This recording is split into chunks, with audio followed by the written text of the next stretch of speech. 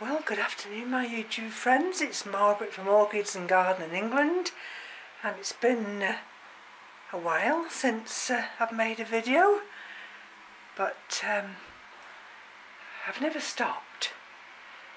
And um, if it's not been with the garden it's been with the orchids. And these are the some of the phragmipediums and what I did yesterday is um, I've actually attached them on uh, wires.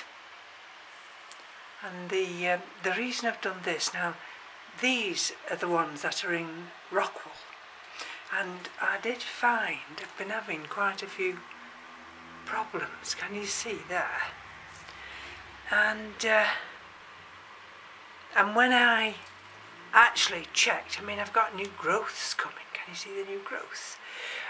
And when I actually checked, um, the media's been too wet. You see that's been a growth that I've had to trim back.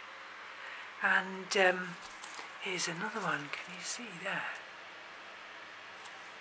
So, let me see if it'll let, you, let me go in. Can you see the actual stem? Um, I think that one's one of those that wants to rise up. Now let me see which this one is. Oh, it's Beauport. Hmm. So that's what I did yesterday. And um, so every one of these, can you see now when I step back, you see, so now the lights changed in the grow room as it does because we're coming into autumn. And you see these are the other ones. These are from that are on the bottom shelf here. And see these get the effect of that oscillating fan. And they get the light from the from the actual south-facing window.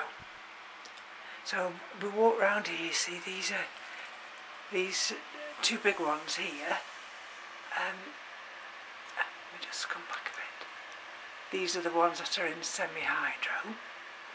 I've just brought the Dendrobium Gatton Sunray down and placed this on this top shelf because of course that's quite a big tall orchid. And there's um, frag now which is this one? Which is that big? That's grande.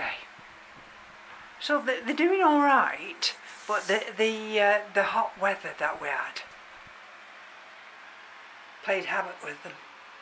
Absolutely played havoc. So at least now by this window um, they've got this oscillating fan here. It comes up and it turns round and it's keeping them nice and cool. And of course uh, I've had the window open quite a lot. I've still got it open but only on the the first latch.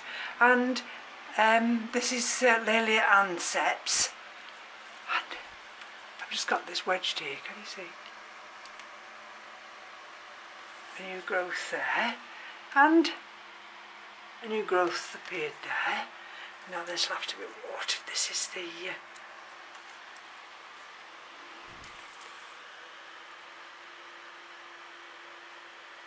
Tolumnia. And you see new roots coming. You can't see it, can you, because of the light. So, beech. And that sits up there because the light is beneficial for them. Now, you're not going to see too good, are you, here? So let's just take these off as I bring it round and show you. So this is um, Catasetum pileatum yellow giant. And that's the first of the flower buds to appear. I don't think we've any more that's on that one. And again. Likewise. Where is it?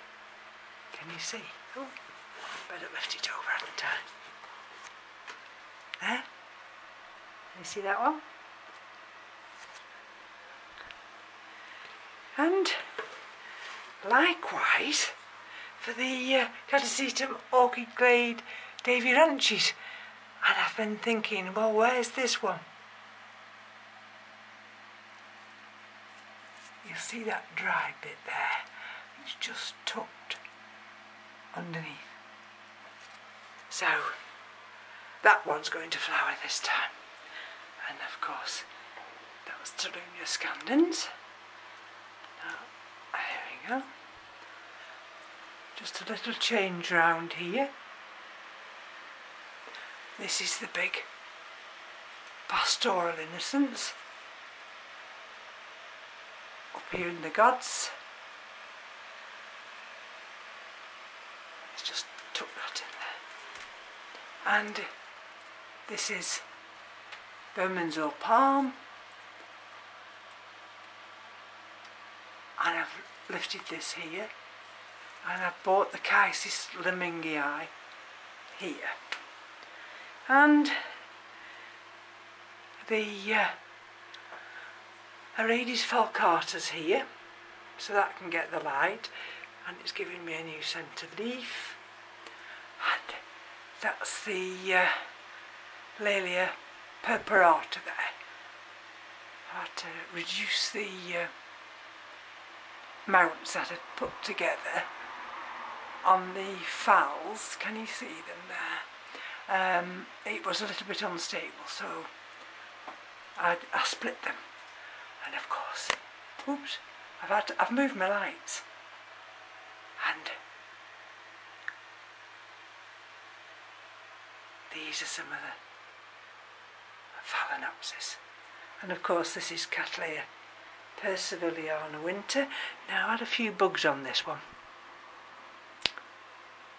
and I'm trying to clear, and of course this is Cattleya walker and I'm trying to clear them up. And so the reason I altered the lights is because um, I'm hanging all the uh, layers here. Look at that, I trapped the root. Can you see there, blackened? I trapped the root so I was trying to reduce, what I've tried to do is reduce some of the media. I mean, I've got green roots in here, uh, and this is Delosa, but these are two of the uh, Phalaenopsis.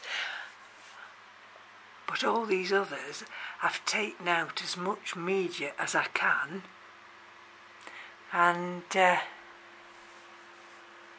and just placed inorganic media. There we go, you see? That's uh, Leodora. There we go.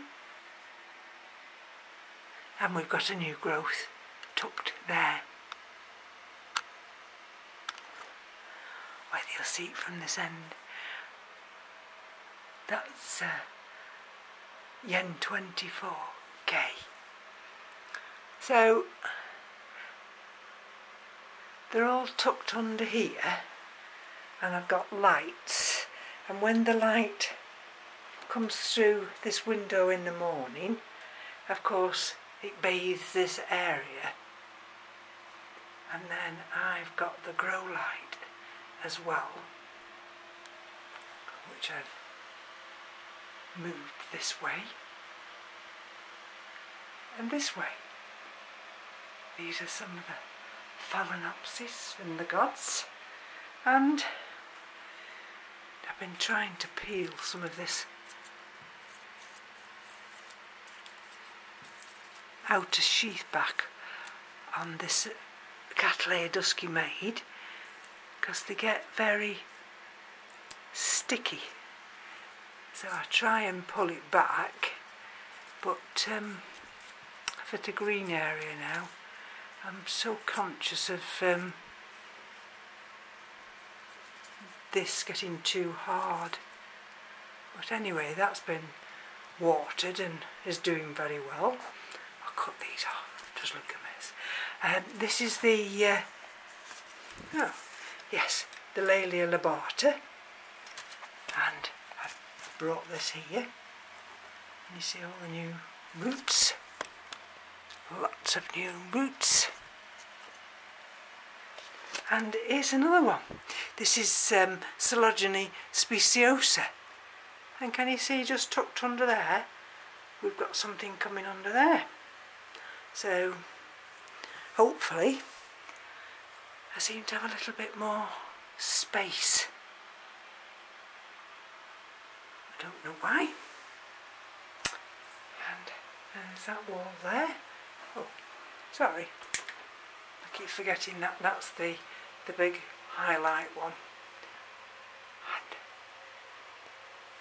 this is this wall here. So uh, these, these are the um, dancing lady type. Well, I think they are. So um, I've not reduced the media in there. I'm hoping I can keep um, my eye on that. But the reason for reducing all the media is uh, simply to um, avoid the, the plants staying too wet because that's going to be the biggest killer over the winter months. And we start this weekend with the cooler temperatures. Down on that bottom row there. I've got some of the Paphiopedilums. And these are some of the others in these holey clay pots.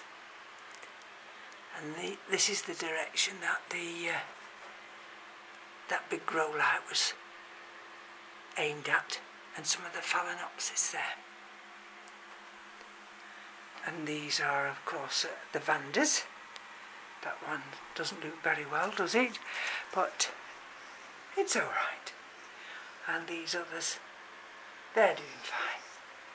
And this is that new growth on the uh, Procatabolia. This flowered for me last year. And these are some of the cooler ones here. I must remember the uh, um, deponica up there. That needs watering.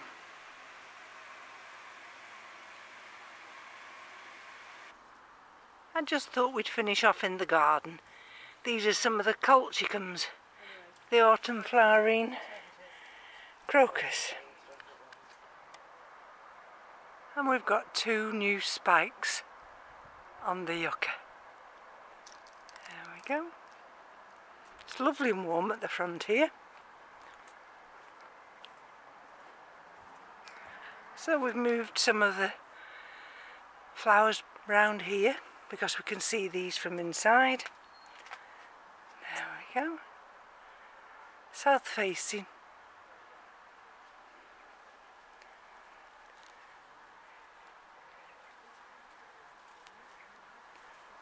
And then Oh, here's some more of the colchicums.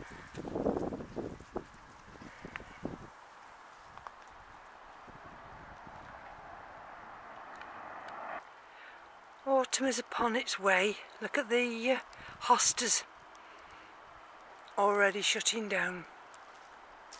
But otherwise, some of the other things are doing quite well. And in fact, some of the um, dahlias are only just in flower.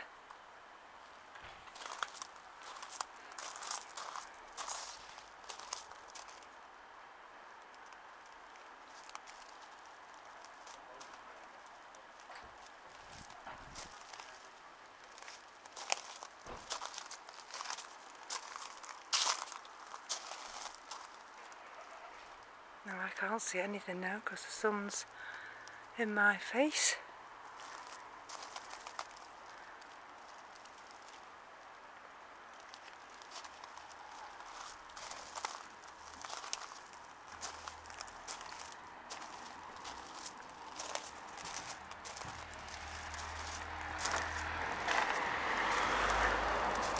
And of course it's Friday so everybody's coming home to enjoy the weekend. Sorry about that. there we go. And we've got some more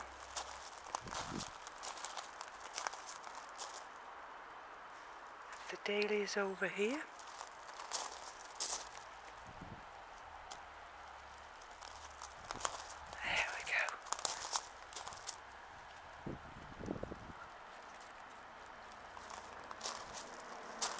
Excuse the noise of the traffic.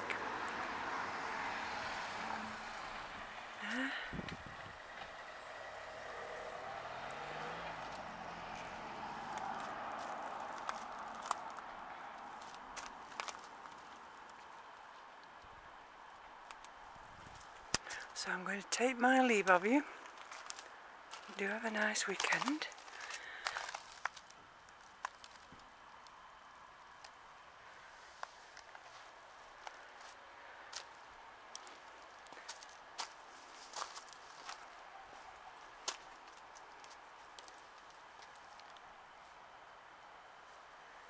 See, the, the big ginger lily shutting down. This is the one that we got this year, so these are still quite fresh.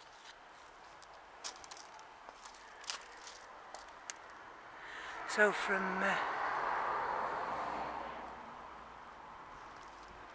so from me to you